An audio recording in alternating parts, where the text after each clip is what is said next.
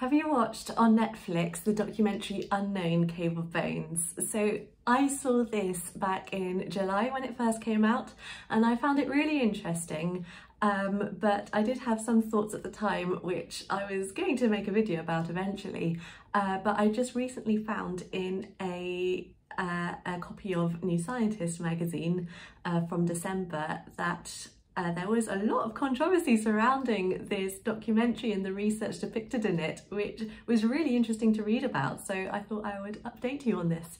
So this is the uh, the magazine, which is looking rather battered at the moment. This is the magazine that I read uh, read about the controversy in. Um, so it's on page 11. Here's the article there. So this documentary was about an extinct species of human, or hominin, I think is the official word, uh, called Homo naledi.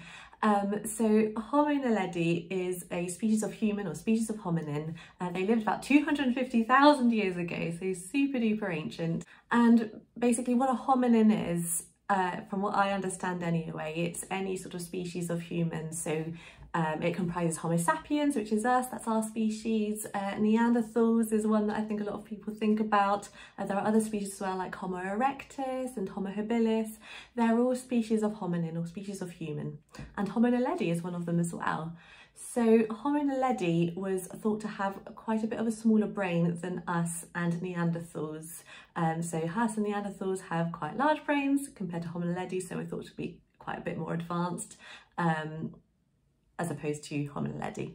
So this documentary was following a team of researchers led by someone called Lee Berger, or Lee Berger, I'm not too sure how you pronounce it. Um, so they, um, this team of researchers found some bones in a cave system in South Africa called the Rising Star Caves. And they thought that these bones um, belong to the species Homo naledi. So the work that this team of researchers were doing was basically analysing the bones that they were finding in these caves and any other evidence in these caves which could suggest what sort of activities Homo naledi might have partaken all of those years ago. And they claim to have found evidence of Homo naledi doing various different activities uh, which some scientists disagree that there is enough evidence to suggest that they did these. So for instance, so I've just written them down here. So they made claims that Homo naledi uh, used controlled fire to light up the caves. They also claimed that they uh, that this species placed a child's skull on an inaccessible on an inaccessible ledge, so maybe as part of a funerary rite.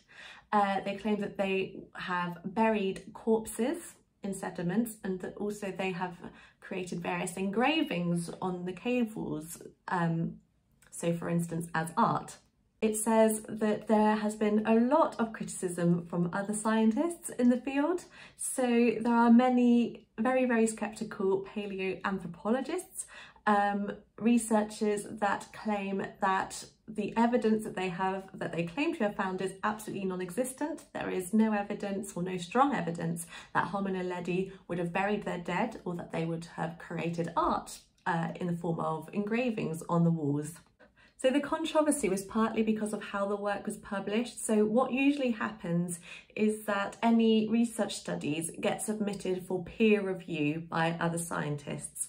And this process is usually confidential.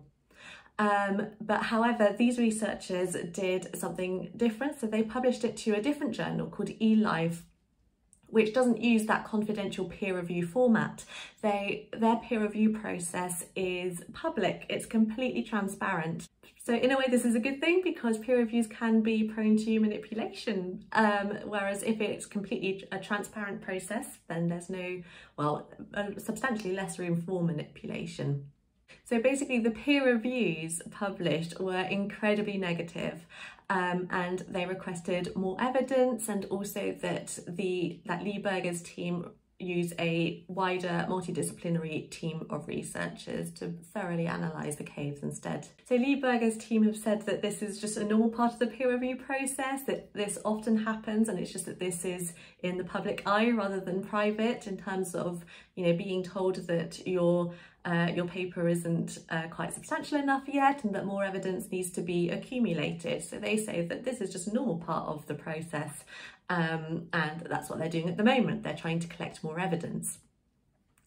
Um, but a really big controversy in this whole thing was the fact that the researchers actually allowed a documentary to be made about uh, their research before it was even peer reviewed. So I think this really speaks to the difficulties in terms of communicating science to the general public and I guess how transparent uh, things should be, particularly before research has even been peer reviewed yet or sort of solidified in terms of, yes, this is definitely what happened here. Um, I think news outlets have definitely got a, and you know, media in general, uh, definitely have a, re, a um, definitely have a history of being quite sensational in the way that they report findings from research studies. And I think it's because that that's what garners interest, isn't it? I think the more sensational you can be about something, the more people are going to be wanting to read about it.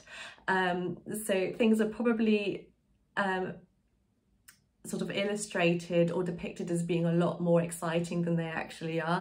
And you know, maybe this is what happened here. Um, things just got a bit sensationalized and were misrepresented. I was doing a little bit of casual Googling after this and um, I found a couple of articles. Um, so there's one from The Conversation, uh, so that was back in January 2023, and one from New Scientist, uh, which was back quite a few years ago. So this was in February 2020. And um, so the one from the conversation talks about how there are various scientists who uh, uh, think that Neanderthals made art. Um, so it's not just our species that made art, like Neanderthals you know, may well have done as well. There's apparently quite a bit of evidence to suggest that they did.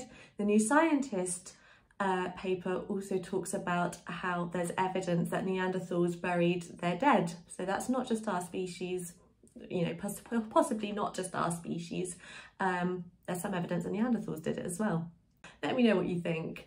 Uh, but you know what, it was a really interesting documentary. I did enjoy watching it at the time. Um, and yeah, I'll, I should really give it a rewatch as well. Um, but yeah, let me know what you thought of the documentary and thank you very much for listening.